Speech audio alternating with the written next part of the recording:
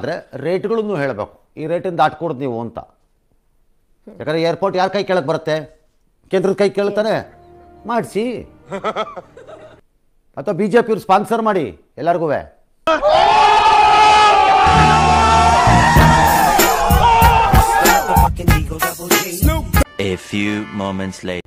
Free ಮಾಡ್ಸೋಕೆ. B J P Narendra Modi ಅವರಿಂದ gift ಎಲ್ಲರಿಗೂ free ಅಂತ ಕೊಡಿ. ಇಲ್ಲ ಕರೆಕ್ಟ್ ರೇಟ್ ಮಾಡಿ.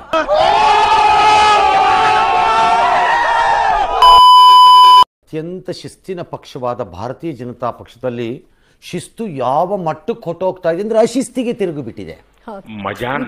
ವಿಪರೀತ ಆದಾಗ ವಾಂತಿ ಆಗಲ್ವಾ ವಾಕರಿಕೆ ಬರಲ್ವಾ?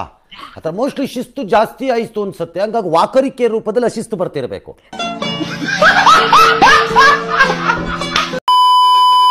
ಬೆಟ್ಟವನ್ನ ಬೆಂಗಳೂರು ಸಮೀಪ ಇರೋ ನಂದಿ ಬೆಟ್ಟನ ಓಪನ್ ಮಾಡಿದ್ರಪ್ಪ.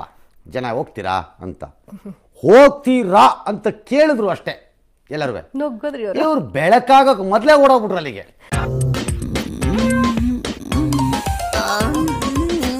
ಮಂಜಲ್ಲಿ ನೋಡಕ್ಕಂತೆ ಚುಮು ಚಳಿ ಮಂಜಿನ ನಡುವೆ.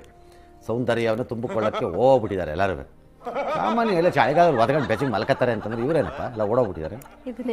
ನೋಡಿ ಅದೃಶ್ಯ ದೃಶ್ಯ ನೋಡ್ತಾ ಇದ್ದೀರಿ. ಮೋಸ್ಟ್ ಚಳಿನಲ್ಲಿ ವಾರ್ಮ್ ಅಪ್ ಡ್ಯಾನ್ಸ್ ಮಾಡ್ತಿದ್ರು ಅನ್ಸುತ್ತೆ.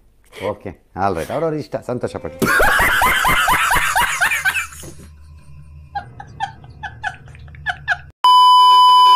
ಈ ಮಧ್ಯೆ ದಿಲ್ಲಿ ಸರ್ಕಾರ ಅವರ ವ್ಯಾಟ್ನ ಶೇಕಡ ಮೂವತ್ತರಷ್ಟು ಇದ್ದಿದ್ದನ್ನು ಹತ್ತೊಂಬತ್ತು ಪಾಯಿಂಟ್ ನಾಲ್ಕು ಸೊನ್ನೆ ಇಳಿಸ್ಕೊಂಡಿದ್ದಾರೆ ಹಂಗಾಗಿ ಒಂದು ಎಂಟು ರೂಪಾಯಿ ಪೆಟ್ರೋಲ್ ಇಳ್ತಿದೆ ಬಸವರಾಜ ಬೊಮ್ಮಾಯಿ ನಾಳೆ ಡೆಲ್ಲಿಗೆ ಹೋಗ್ತಿದ್ದೀನಿ ಅಂತ ಹೇಳಿದ್ರಲ್ವಾ ಅಲ್ವಾ?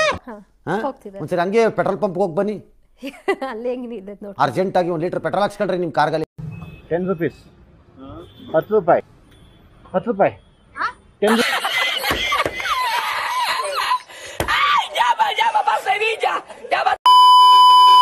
ಇದೆ ಅಂತಾರಾಷ್ಟ್ರೀಯ ಪ್ರಯಾಣದ ಮೇಲಿನ ನಿರ್ಬಂಧಗಳನ್ನ ಸದ್ಯಕ್ಕೆ ಸಡಿಲಿಸಿ ಸಡಿಲಿಕೆ ಮಾಡಿದ್ದಾರೆ.